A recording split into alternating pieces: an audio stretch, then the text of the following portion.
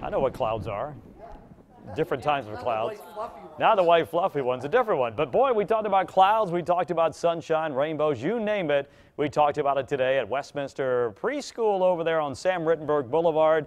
I love going over there, seeing all these cuties there. Made a lot of nice new friends today. And there they are, thanks to Miss Pam, Miss Janet. There's Miss Janet in the picture there. And again, for letting me come on by talking about weather. And we read uh, some weather books and just had a lot of fun over there. And again, what a bunch of cuties. Thanks, guys, for letting me come on by.